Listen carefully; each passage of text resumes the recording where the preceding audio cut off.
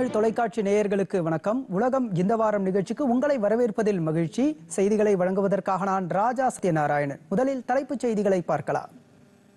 பாகிஸ்தான் புதிய பிரதமராக பதவியேற்றுக் கொண்டார் நவாஸ் ஷெரீப் சகோதரர் ஷாவாஸ் ஷெரீப். பிரதமர் நரேந்திர மோடி வாழ்த்து. நேட்டோ ராணுவ கூட்டமைப்பில் முப்பத்தி இரண்டாவது நாடாக முறைப்படி இணைந்தது ஸ்வீடன். பாலஸ்தீனத்தில் உடனடி போர் நிறுத்தம் செய்ய இஸ்ரேல் ஹமாஸ் முன்வர வேண்டும். அமெரிக்க துணை அதிபர் கமலா ஹாரிஸ் வலியுறுத்தல். ரஷ்ய கண்காணிப்பு கப்பல் மீது ட்ரோன் தாக்குதல்கள். யுக்ரைன் பாதுகாப்புத்துறை தகவல். செங்கடல் அருகே ஏடன் வளைகுடாவில் கப்பல் மீது ஹவுதி குழுவினர் தாக்குதல். இரண்டு பேர் உயிரிழந்த நிலையில் மீட்பு பணியில் இந்தியா தீவிரம். நடுக்கடலில் மாயமான மலேசிய விமானத்தை பத்து ஆண்டுகளுக்கு பிறகு மீண்டும் தேடுவது பற்றி பரிசீலனை. மலேசிய அரசு அறிவிப்பு. வளைகுடா நாடுகளில் பணியாற்றும் இந்தியர்கள் இயற்கையாக மரணமடைந்தாலும் காப்பீட்டுத் தொகை கிடைக்கும். புதிய திட்டம் அறிமுகம்.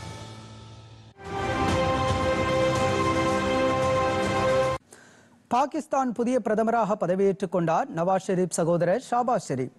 பிரதமராக பொறுப்பேற்றுள்ள ஷபாஸ் ஷெரீப்பிற்கு பிரதமர் நரேந்திர மோடி வாழ்த்து தெரிவித்துள்ளார். இதனிடையே நேற்று பாகிஸ்தானில் அதிபர் தேர்தல் நடைபெற்றது. இது குறித்து தற்போது பார்க்கலாம். பாகிஸ்தான் பிரதமராக ஷபாஸ் ஷெரீப் பதவியேற்றுக் கொண்டார். இஸ்லாமாபாத்தில் உள்ள அதிபர் மாளிகையில் மிகவும் எளிய முறையில் பதவியேற்பு விழா நடைபெற்றது. இரண்டாயிரத்தி இருபத்தி இரண்டாம் ஆண்டு ஏப்ரல் முதல் கடந்த ஆண்டு ஆகஸ்ட் வரை நடைபெற்ற கூட்டணி அரசிலும் இவர் பிரதமராக பதவி வகித்து வந்தார். அண்மையில் நடைபெற்ற நாடாளுமன்ற தேர்தலில் எந்த கட்சிக்கும் பெரும்பான்மை கிடைக்காததால் பிரதமரை தேர்வு செய்வதில் சிக்கல் நிலவியது. இதனிடையே நேற்று அந்நாட்டின் நாடாளுமன்றத்தில் நடைபெற்ற வாக்கெடுப்பில் ஷபாஸ் ஷெரீப் வெற்றி பெற்றதாக அறிவிக்கப்பட்டது. இந்நிலையில் ஷாபாஸ் ஷெரீப் மீண்டும் பிரதமராக பதவியேற்றுக் கொண்டார்.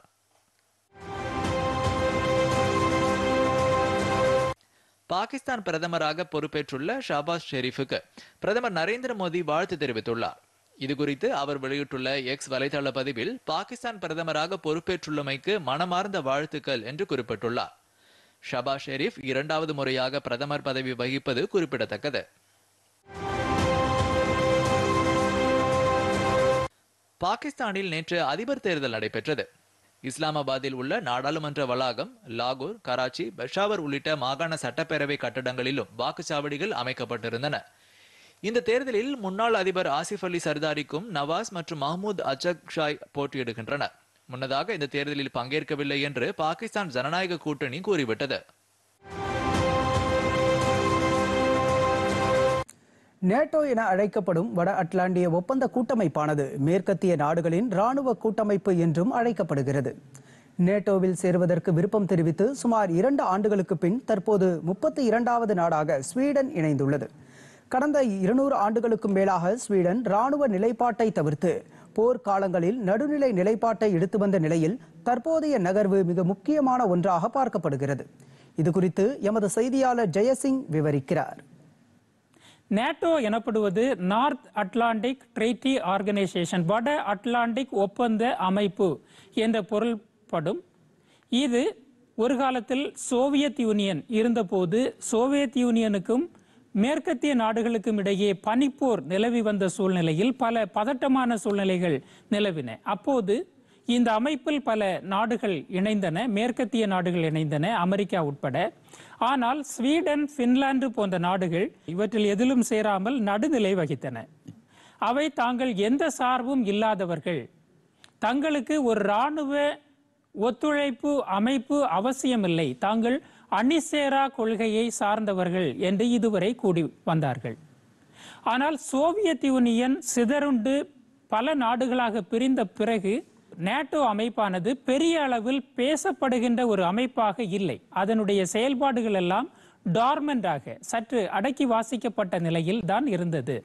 ஆனால் தற்போது ரஷ்யா தன்னுடைய அண்டை நாடாகிய சிறிய நாடாகிய யுக்ரைன் மீது படையெடுத்ததும் பிற சிறிய நாடுகள் உதாரணமாக ஃபின்லாண்டும் ஸ்வீடனும் ரஷ்யாவை ஒட்டி ஆயிரத்து நானூறுக்கும் மேற்பட்ட கிலோமீட்டர் தொலைவு கொண்ட எல்லையை கொண்டிருக்கிறது. ஆனால் அளவில் இந்த இரண்டு நாடுகளுமே சின்ன சின்ன நாடுகள். எனவே யுக்ரைனுக்கு வந்த கதி தமக்கும் ஏற்பட்டு விடுமோ என்ற பயம் ஏற்பட்டதன் காரணமாக பின்லாண்டும் ஸ்வீடனும் தாங்கள் இதுவரை வகித்து வந்த அணிசேரா கொள்கையை கைவிட்டு நேட்டோவில் இணைய வேண்டும் என்று இரண்டாயிரத்தி இருபத்தி இரண்டாம் ஆண்டிலே கோரிக்கை வைத்தன. ஆனால் பின்லாந்து எளிதாக அந்த அமைப்பில் இணைந்து விட்டது. ஸ்வீடன் இணைவதற்கு சில முட்டுக்கட்டைகள் இருந்தன. உதாரணமாக துருக்கி தனக்கு எதிராக செயல்படுகின்ற குர்திஸ்தான் கிளர்ச்சியாளர்களுக்கு ஸ்வீடன் அனுதாபமாக இருக்கிறது. எனவே உங்களை நேட்டோ அமைப்பில் சேர்த்து கொள்ள முடியாது என்று கூறி வந்தது.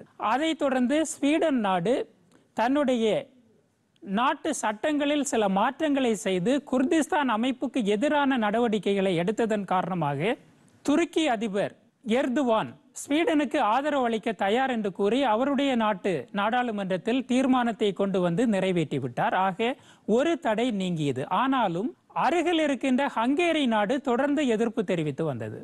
காரணம் என்னவென்றால் ஹங்கேரி நாட்டில் உண்மையான ஜனநாயகம் கிடையாது என்று கூறி அதன் தலைவர்களை ஸ்வீடன் கடுமையாக விமர்சித்து வந்தது. இதனால் கோபமடைந்த ஹங்கேரி நாட்டு பிரதமர் விக்டர் ஒர்பான் ஒருபோதும் தாங்கள் ஸ்வீடனுக்கு ஆதரவு அளிக்க போவதில்லை என்று கூறி வந்தார். இதைத் தொடர்ந்து ஸ்வீடன் பிரதமர் ஹங்கேரி நாட்டிற்கு சென்று உர்பானுடன் பேச்சுவார்த்தை நடத்தியதைத் தொடர்ந்து அவர்களுக்கிடையே ஒரு சமரசம் ஏற்பட்டு ஹங்கேரி நாட்டு நாடாளுமன்றத்திலும் அந்த தீர்மானம் அதாவது ஸ்வீடன் நேட்டோவில் இணைவதற்கான தீர்மானத்திற்கு ஆதரவு தெரிவித்து தீர்மானம் இயற்றப்பட்டு கடைசி தடையும் நீங்கியது. இதைத் தொடர்ந்து ஸ்வீடன் பிரதமர் தற்போது அமெரிக்கா சென்று ஆண்டனி பிளிங்கனை சந்தித்து அவரிடம் தாம் நேட்டோவில் இணைவதற்கான முறைப்படியான ஆவணத்தை வழங்கினார். அப்போது அவர் பேசுகையில் ஆண்டனி பிளிங்கன் பேசுகையில் ஸ்வீடன் இப்போதுதான் உலக அரங்கத்தில் தனக்குரிய உண்மையான இடத்தை பிடிக்கப் போகிறது. ரஷ்யா தன்னுடைய அண்டை நாடாகிய யுக்ரைனை ஒருவேளை கபலீகரம் செய்துவிட்டால் விழுங்கிவிட்டால் அதோடு நிற்கும் என்று நம்மால் கூற முடியாது. அது அடுத்து இருக்கின்ற பிற சிறு நாடுகளையும் குறிவைக்கும் என்பதால் ஸ்வீடன் பின்லாந்து ஆகிய நாடுகள் எடுத்திருக்கின்ற இந்த முடிவு அவற்றின் பாதுகாப்புக்கும் உலக அமைதிக்கும் நல்ல பங்கை வழங்கும் என்று ஆண்டனி பிளிங்கன் கூறியிருக்கிறார். அமெரிக்க அதிபரும் அதனை வரவேற்றிருக்கிறார்.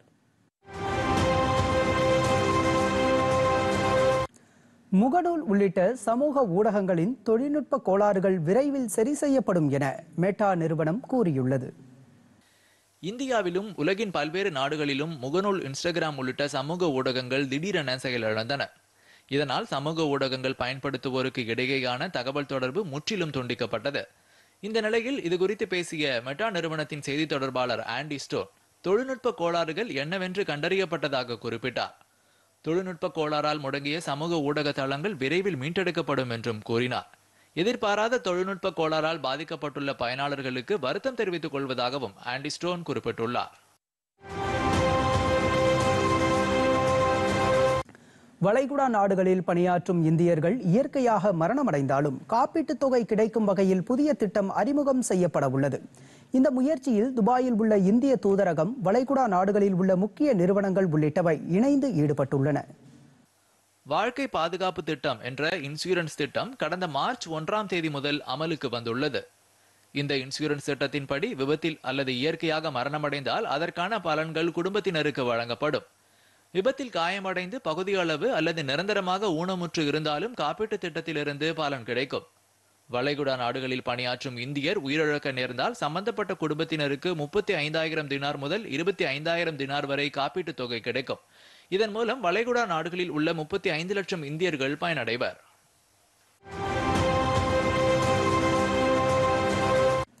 பாலஸ்தீன பிரச்சினைக்கு தீர்வு காண இருநாட்டு கொள்கையே உதவும் என்று ஐநா பாதுகாப்பு சபை கூட்டத்தில் இந்தியாவின் நிரந்தர பிரதிநிதி ருச்சிரா கம்போஜ் கருத்து தெரிவித்துள்ளார்.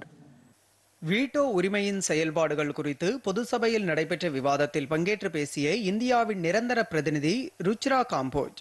இந்தியாவின் இந்த நிலைப்பாடு குறித்து பலமுறை வலியுறுத்தப்பட்டிருப்பதாக கூறினார்.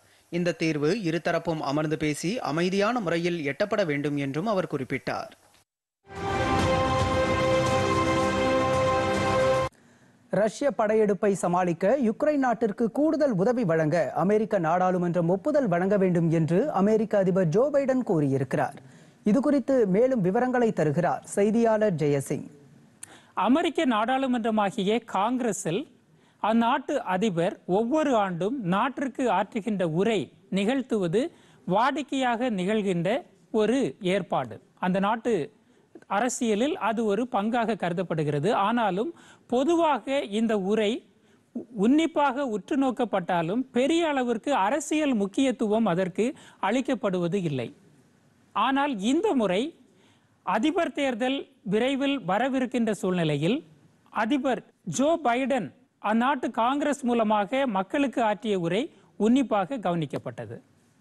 இதில் அவர் சில கோரிக்கைகளை விடுத்திருக்கிறார். சில அரசியல் கருத்துக்களையும் வலியுறுத்தி இருக்கிறார். கோரிக்கைகள் என்னவென்றால் ரஷ்ய படையெடுப்பால் அவதிப்பட்டு கொண்டிருக்கின்ற யுக்ரைன் நாட்டிற்கு உதவுவதற்கு இராணுவ மற்றும் பொருளுதவி வழங்க சில திட்டங்களை அவர் முன்வைத்திருந்தார். ஆனால் அமெரிக்க நாடாளுமன்றமாகிய காங்கிரஸில் அவற்றுக்கு முட்டுக்கட்டை போடப்பட்டது. எதிர்க்கட்சிகள் அதற்கு உரிய ஒத்துழைப்பை வழங்கவில்லை. பல கேள்விகளை முன்வைத்ததன் காரணமாக அந்த தீர்மானம் நிறைவேற்றப்படாமலேயே இருக்கிறது. அதனை விரைவில் நிறைவேற்ற வேண்டும் என்பது அவர் விடுத்த முதல் கோரிக்கை. இரண்டாவது காசாவில் போர் நிறுத்தம். இஸ்ரேல் படைகளுக்கும் ஹமாஸ் குழுவினருக்கும் இடையே விரைவில் கொண்டு வர வேண்டும். அதற்கான ஏற்பாடுகளை தாங்கள் துரிதப்படுத்தி வருகிறோம் என்று அவர் கூறினார். காசாவில் இருக்கின்ற பொதுமக்களுக்கு இஸ்ரேல் வழங்கி வருகின்ற உதவி பொருட்களை இஸ்ரேல் ஒருபோதும் ஒரு துருப்புச் சீட்டாக பயன்படுத்தக்கூடாது என்று அவர் தன்னுடைய உரையில் குறிப்பிட்டிருக்கிறார். அடுத்ததாக சில அரசியல் கருத்துக்களை அவர் முன்வைத்திருக்கிறார். அவரை எதிர்த்து போட்டியிடப் போகின்ற குடியரசுக் கட்சி வேட்பாளர் டொனால்ட் ட்ரம்பின் பெயரை குறிப்பிடாமலேயே ஒரு முன்னாள் அதிபர் என்று கூறி நேட்டோ நாடுகள் உறுப்பு நாடுகள் தங்களுக்குரிய பாதுகாப்பை பெரும்பாலும் தாங்களாகவே தான் நிறைவேற்றிக் கொள்ள வேண்டும் அமெரிக்க உதவியை பெருமளவில் எதிர்பார்க்க கூடாது என்று கூறுவது உலக பாதுகாப்பு சூழ்நிலையில் கடுமையான தாக்கத்தை ஏற்படுத்தும். இது அமைதி குறைவை ஏற்படுத்திவிடக்கூடும். அமெரிக்கா தன்னுடைய பங்களிப்பை உலக அரசியல் அரங்கில் போதிய அளவிற்கு ஆற்ற வேண்டும் என்று அவர் கூறியிருக்கிறார். முன்னாள் அதிபர் டொனால்ட் ட்ரம்ப் ஏற்கனவே உலக அரசியலில் அமெரிக்கா பெரிய அளவிற்கு பங்கு வகிப்பது அமெரிக்க பொருளாதாரத்திற்கு நல்ல பலனை ஒன்றும் தரப்போவதில்லை. எனவே சொந்த நாட்டு பிரச்சனைகளுக்கு முக்கியத்துவம் அதிக அளவில் வழங்க வேண்டும் என்று கூறியிருந்தார். அதை அதிபர் ஜோ பைடன் விமர்சித்து இந்த கருத்தை வெளியிட்டிருக்கிறார். பொதுவாக இந்த தேர்தலில் ஜோ பைடன் அதிக வயதுடையவர் எயிட்டி இயர்ஸ் எண்பது வயதை கடந்தவர் என்ற விமர்சனம் முன்வைக்கப்படுகிறது. ஆனால் வயது தன்னுடைய செயல்பாட்டிற்கு எந்த ஒரு தடையாகவும் இருந்ததில்லை என்று அவர் இந்த உரையில் வலியுறுத்தி கூறியிருக்கிறார்.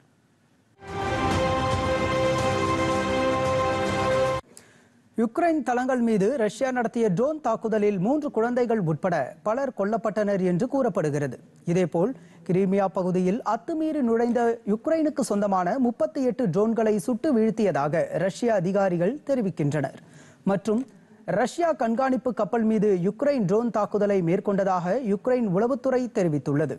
இவை தொடர்பான செய்திகளை இந்த தொகுப்பில் பார்க்கலாம். யுக்ரைன் தளங்கள் மீது ரஷ்யா நடத்திய ட்ரோன் தாக்குதலில் மூன்று குழந்தைகள் உட்பட பலர் கொல்லப்பட்டனர்.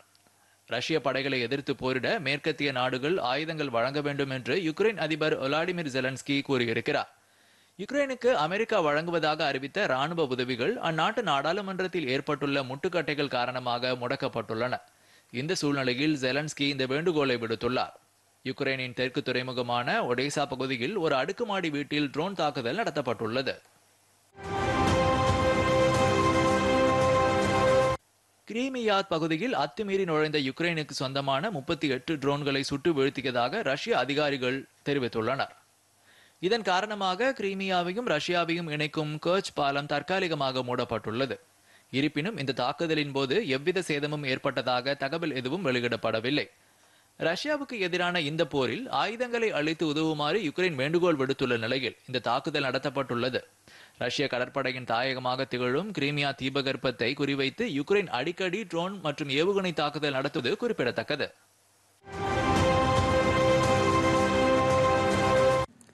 இஸ்ரேல் ஹமாஸ் இடையேயான போர் கடந்த ஆண்டு அக்டோபர் ஏழாம் தேதி தொடங்கியது. இந்நிலையில் இந்த போரில் பாலியல் வன்முறைகள் நடந்திருப்பதாக ஐநா குழு குற்றம் சாட்டியிருக்கிறது. இஸ்ரேல் ஹமாஸ் இடையே சர்வதேச நாடுகளின் தலையீட்டிற்கு பிறகு இடைக்கால போர் நிறுத்தம் பிணைய கைதிகள் விடுதலை உள்ளிட்ட நடவடிக்கைகள் மேற்கொள்ளப்பட்ட போதிலும் போர் தொடர்கிறது.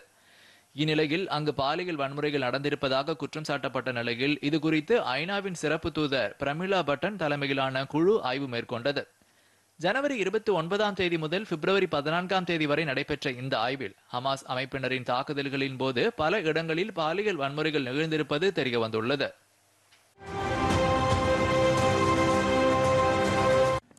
காசா பகுதியில் போர் நிறுத்தம் சாத்தியமாக உள்ளதாக அமெரிக்கா தெரிவித்துள்ள நிலையில் போர் நடக்கும் பகுதியில் அவசர கால உதவி நடவடிக்கைகள் மேற்கொள்ள சர்வதேச நீதிமன்றம் உடனடியாக தலையிட வேண்டும் என தென்னாப்பிரிக்கா கோரிக்கை விடுத்துள்ளது. இஸ்ரேல் ஹமாஸ் இடையேயான போர் நிறுத்தத்தை வலியுறுத்தி அமெரிக்கா தரப்பில் ஹமாஸ் அமைப்பு கத்தார் எகிப்து ஆகியவற்றின் பிரதிநிதிகளுடன் அமெரிக்கா பேச்சுவார்த்தை நடத்தி வருகிறது. இதுகுறித்து வாஷிங்டனில் செய்தியாளர்களிடம் பேசிய அமெரிக்க வெளியுறவுத்துறை செய்தி தொடர்பாளர் மேத்யூ மில்லர் பேச்சுவார்த்தையில் ஏற்பட்டுள்ள இடையூறுகளை களைந்து தற்காலிக போர் நிறுத்தம் செய்வதற்கான ஒப்பந்தம் மேற்கொள்ளும் பணிகள் விரைவில் முழுமை பெறும் என்று கூறினார். இதனிடையே போர் நடக்கும் பகுதியில் அவசர கால உதவி நடவடிக்கைகள் மேற்கொள்ள வேண்டும் என்று சர்வதேச நீதிமன்றத்தில் தென்னாப்பிரிக்கா முறையிட்டுள்ளது.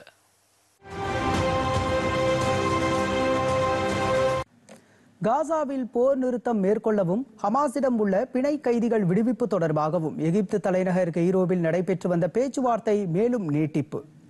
காசாவில் உள்ள அகதிகள் முகாம் மீது வான்வழியாக வீசப்பட்ட நிவாரணப் பொருட்கள் அடங்கிய மூட்டைகள் விழுந்ததில் ஐந்து பேர் உயிரிழப்பு பலர் காயம். காசா மீது இஸ்ரேல் சரமாரியாக நடத்திய ஏவுகணை தாக்குதலில் தொண்ணூறு பேர் உயிரிழந்துள்ளதாக தகவல். தொடர்பான செய்திகளை இந்த தொகுப்பில் பார்க்கலாம். காசாவில் போர் நிறுத்தம் மேற்கொள்ளவும் ஹமாஸிடம் உள்ள பிணை கைதிகள் விடுவிப்பு தொடர்பாகவும் எகிப்து தலைநகர் கெய்ரோவில் நடைபெற்று வந்த பேச்சுவார்த்தை மேலும் நீட்டிக்கப்பட்டுள்ளது. முஸ்லிம்களின் புனித ரமலான் மாதம் அடுத்த வாரம் தொடங்குவதால் போர் நிறுத்தம் குறித்து விவாதிக்க கெய்ரோவில் இரண்டு நாள் பேச்சுவார்த்தைக்கு ஏற்பாடு செய்யப்பட்டிருந்தது. இரு தரப்பினரிடையேயும் குறிப்பிடத்தக்க உடன்பாடு எட்டப்படாததால் பேச்சுவார்த்தை நீட்டிக்கப்பட்டுள்ளது. இதற்கு வசதியாக கெய்ரோவில் தங்கியிருக்க ஹமாஸ் பிரதிநிதிகள் ஒப்புக்கொண்டனர்.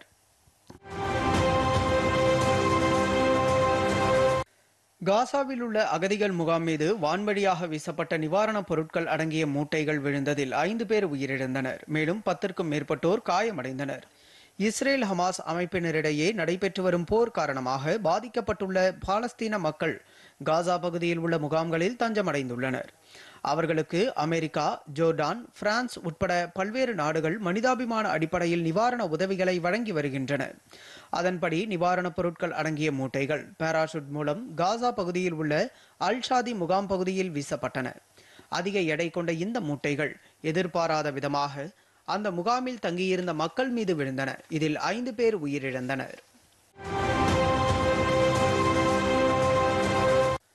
காசா மீது இஸ்ரேல் சரமாரியாக ஏவுகணை தாக்குதல் நடத்தியது. இந்த தாக்குதலில் பாலஸ்தீனியர்கள் தொண்ணூறு பேர் உயிரிழந்துள்ளதாக முதற்கட்ட தகவல்கள் தெரிவிக்கின்றன. நூற்று பதினேழு பேர் காயமடைந்துள்ளதாகவும் தகவல் வெளியாகியுள்ளது. இதன் மூலம் போரில் உயிரிழந்தோரின் எண்ணிக்கை முப்பதாயிரத்து நானூற்று பத்தாக உயர்ந்துள்ளது. இதனிடையே நிபந்தனைகளை ஏற்றுக்கொண்டால் நாற்பத்தி எட்டு மணி நேரத்திற்குள் போர் நிறுத்தம் சாத்தியம் என்று ஹமாஸ் அறிவித்துள்ளது.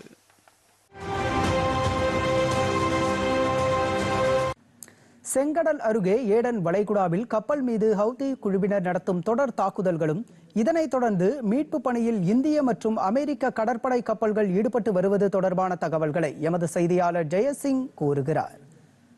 ஏமன் நாட்டை அடுத்த ஏடன் வளைகுடா என்ற பகுதியில் சென்று கொண்டிருந்த ஒரு கப்பல் மீது ஏமன் நாட்டை தளமாக கொண்டு இயங்கி வருகின்ற ஹவுத்தி என்ற போராளி குழு நடத்திய ஏவுகணை தாக்குதலில் மூன்று கப்பல் பணியாளர்கள் பரிதாபமாக உயிரிழந்திருக்கிறார்கள்.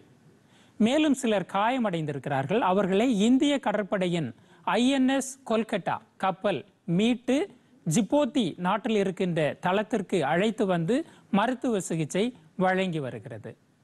ஹவுத்தி போராளி குழு தொடர்ந்து செங்கடல் வழியாகவும் ஏடன் வளைகுடா வழியாகவும் சென்று கொண்டிருக்கின்ற வணிக கப்பல்கள் போன்ற கப்பல்கள் மீது தொடர்ந்து தாக்குதல் நடத்தி வருகிறது.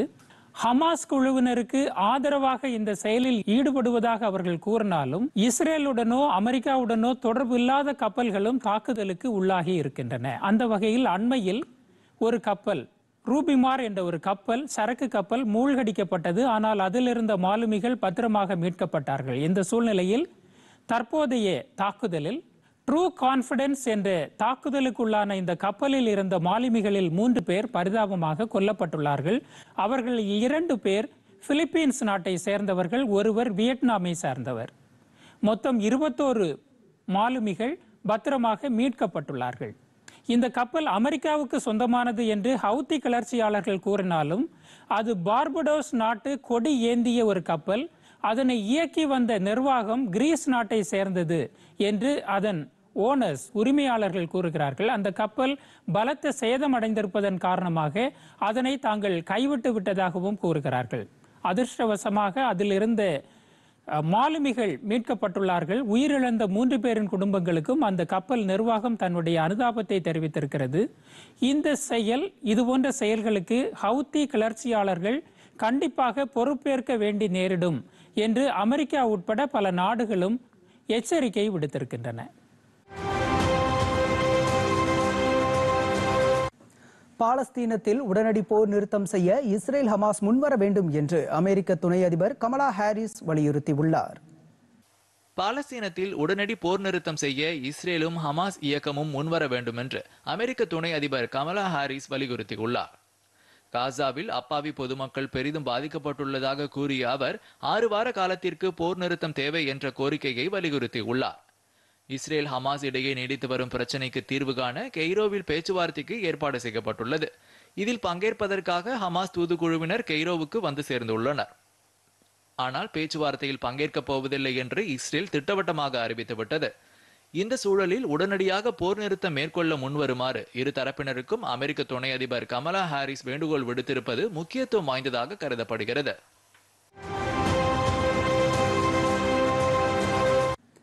மே பத்தாம் தேதிக்குள் மாலத்தீவிலிருந்து இந்திய ராணுவம் முழுமையாக விலகிவிடும் என்று அந்நாட்டின் அதிபர் முகமது மூயிஸ் தெரிவித்துள்ளார். மே பத்தாம் தேதிக்குள் மாலத்தீவிலிருந்து இந்திய ராணுவம் முழுமையாக விலகிவிடும் என்று அந்நாட்டின் அதிபர் முகமது மூயிஸ் தெரிவித்துள்ளார். மாலியில் நடைபெற்ற பொதுக்கூட்டம் ஒன்றில் உரையாற்றிய அவர் மாலத்தீவிலிருந்து இந்திய ராணுவ வீரர்கள் வெளியேறுவது உறுதி செய்யப்பட்டுள்ளதாக குறிப்பிட்டுள்ளார். ராணுவ உடையிலோ அல்லது சாதாரண உடையிலோ இந்திய வீரர்கள் மாலத்தீவில் பணியாற்றுவார்கள் என வெளியான செய்தியை அந்நாட்டின் அதிபர் மூயிஸ் மறுத்துள்ளார். சீனாவிடமிருந்து மாலத்தீவு இலவச ராணுவ உதவி பெறுவது தொடர்பாக புதிய ஒப்பந்தம் மேற்கொள்ளப்பட்ட நிலையில் அந்நாட்டின் அதிபர் மோயிஸ் இந்திய ராணுவம் வெளியேறுவது குறித்து கருத்து வெளியிட்டுள்ளார்.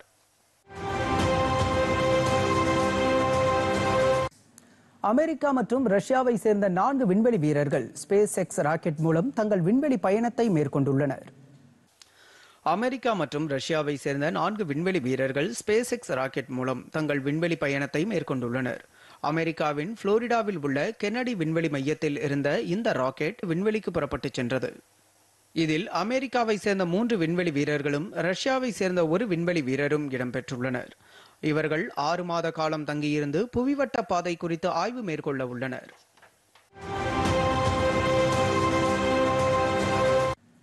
அமெரிக்க அதிபர் தேர்தலுக்கான குடியரசுக் கட்சியின் உட்கட்சி தேர்தலில் இந்திய வம்சாவளியை சேர்ந்த நிக்கி ஹாலே தோல்வியடைந்துள்ளார். இதனைத் தொடர்ந்து அவர் முன்னாள் அதிபர் டொனால்ட் ட்ரம்புக்கு எதிரான அதிபர் தேர்தல் வேட்பாளருக்கான உட்கட்சி தேர்தலில் இருந்து விலகுவதாக அறிவித்துள்ளார். இதுகுறித்து எமது செய்தியாளர் ஜெயசிங் கூறுவதை கேட்கலாம். நன்றி ராஜா சத்யநாராயணன். அமெரிக்க அரசியலை பொருத்தமட்டில் இரண்டு கட்சிகள் முக்கிய பங்கு வகிக்கின்றன. ஒன்று தற்போது அதிபராக இருக்கின்ற ஜோ பைடனின் ஜனநாயக கட்சி. மற்றொன்று முன்னாள் அதிபர் டொனால்ட் ட்ரம்ப் சார்ந்திருக்கின்ற குடியரசுக் கட்சி. அமெரிக்க அதிபர் தேர்தல் வரும் நவம்பர் மாதம் நடைபெறும் என்று ஏற்கனவே அறிவிக்கப்பட்டிருக்கிறது. ஆனால் இந்த தேர்தலில் இரண்டு கட்சிகளும் நேரடியாக தங்கள் வேட்பாளர்களை நிறுத்துவதில்லை. யார் வேட்பாளர் என்று அறிவதற்காக உட்கட்சி தேர்தல் ஒவ்வொரு மாகாணத்திலும் தனித்தனியாக நடைபெறுவது வாடிக்கை. அந்த வகையில் எப்போது எதிர் அணியில் இருக்கின்ற குடியரசுக் கட்சி சார்பில் யார் வேட்பாளர் என்பதை நிர்ணயிப்பதற்காக பனிரெண்டுக்கும் மேற்பட்ட வேட்பாளர்கள் முதலில் களத்தில் இருந்தார்கள். ஒவ்வொரு மாகாணத்திலும் தேர்தல் ஒன்றன் பின் ஒன்றாக நடைபெற்றது. அது உட்கட்சி தேர்தல். குடியரசுக் கட்சிக்கு உள்ளாகவே நடக்கின்ற தேர்தல். இதில் தொடக்கத்திலிருந்தே முன்னாள் அதிபர் டொனால்ட் ட்ரம்பின் கை ஓங்கி இருந்தது ஆனாலும் போட்டியிலிருந்து தாம் இறுதி கட்டம் வரை விலகப் போவதில்லை என்று அவரை எதிர்த்து களமிறங்கிய கலிபோர்னியா மாகாணத்தின் முன்னாள் அதிபரும் இந்திய வம்சாவளியை சேர்ந்தவருமான நிக்கி ஹாலே அறிவித்திருந்தார். தொடர்ந்து ஒரு சில மாகாணங்களில் நடைபெற்ற தேர்தலில் ஒன்றை தவிர வேறு எல்லா இடங்களிலும் முதலில் டொனால்ட் ட்ரம்ப் வெற்றி பெற்றார். தாம் சார்ந்திருக்கின்ற தம்முடைய சொந்த மாகாணமாகிய தெற்கு கேரளைனா மாகாணத்தில் கூட நிக்கி ஹேலையால் வெற்றி பெற முடியவில்லை.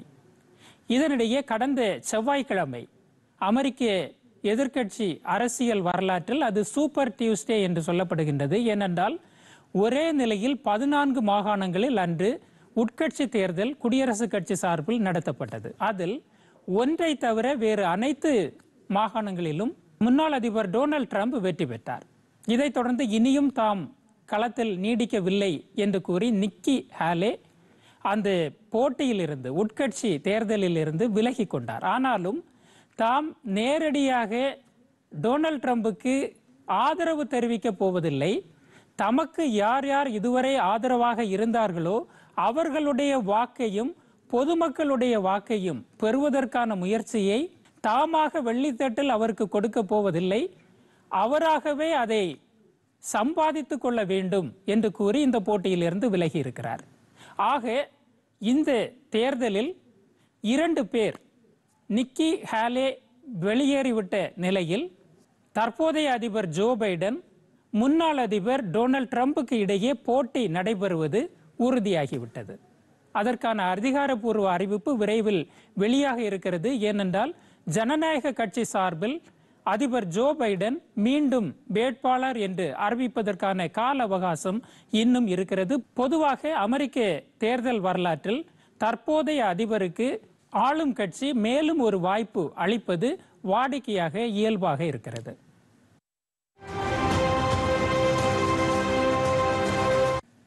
நடுக்கடலில் இருநூற்று இருபத்தி ஏழு பயணிகளுடன் மாயமான மலேசிய விமானத்தை பத்து ஆண்டுகளுக்கு பின் மீண்டும் தேடுவது பற்றி முடிவெடுக்கப்பட்டுள்ளதாக அந்நாட்டு அரசு அறிவித்துள்ளது.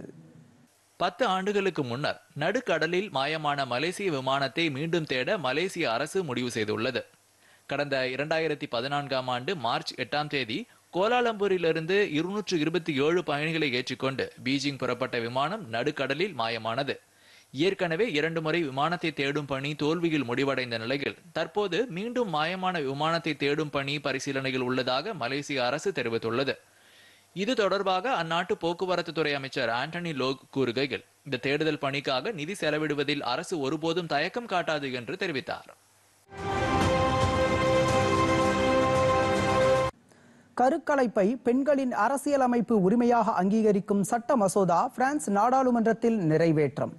ஈரானில் நடைபெற்ற நாடாளுமன்ற தேர்தலில் இதுவரை இல்லாத அளவிற்கு மிக குறைந்த வாக்குகளே பதிவானதாக ராய்டர்ஸ் செய்தி முகமை தகவல். கருக்கலைப்பை பெண்களின் அரசியலமைப்பு உரிமையாக அங்கீகரிக்கும் சட்ட மசோதா பிரான்ஸ் நாடாளுமன்றத்தில் நிறைவேற்றப்பட்டுள்ளது. இதன் மூலம் அரசியலமைப்பில் கருகலைப்பு உரிமைகளை வெளிப்படையாக பதிவு செய்த முதல் நாடு என்ற பெருமையை பிரான்ஸ் பெற்றுள்ளது. இது தொடர்பாக அந்நாட்டு நாடாளுமன்ற மேலவையில் நடைபெற்ற வாக்கெடுப்பில் கருக்கலைப்பை அரசியலமைப்பு உரிமையாக அங்கீகரிக்கும் மசோதாவிற்கு ஆதரவாக எழுநூற்று எண்பது உறுப்பினர்கள் வாக்களித்தனர். அதே நேரத்தில் மசோதாவிற்கு எதிராக எழுபத்தி இரண்டு பேர் மட்டுமே வாக்களித்தனர். இதனால் சட்ட மசோதா நிறைவேற்றப்பட்டுள்ளது. ஈரானில் நடைபெற்ற நாடாளுமன்ற தேர்தலில் இதுவரை இல்லாத அளவிற்கு மிக குறைந்த வாக்குகளே பதிவாகி இருப்பதாக ராய்டர்ஸ் செய்தி முகமை கூறுகிறது. ஆயிரத்தி தொள்ளாயிரத்து எழுபத்தி ஒன்பதாம் ஆண்டு நடைபெற்ற இஸ்லாமிய புரட்சிக்கு பின்பு நடைபெற்ற தேர்தலிலேயே மிக குறைந்த அளவாக நாற்பத்தி ஒரு சதவீதம் வாக்குகள் மட்டுமே பதிவாகி இருப்பதாக மதிப்பிடப்பட்டுள்ளது. இருநூற்று தொண்ணூறு உறுப்பினர்களை கொண்ட ஈரான் நாடாளுமன்றத்திற்கு நடைபெற்ற தேர்தலில் ஆறு கோடியே பத்து லட்சம் பேர் வாக்களிக்க தகுதி பெற்றவர்கள் ஆவர். ஆனால் இரண்டரை கோடி வாக்காளர்கள் மட்டுமே வாக்களித்திருப்பதாக அந்நாட்டு உள்துறை அமைச்சர் அகமது வஹீதி கூறியுள்ளார்.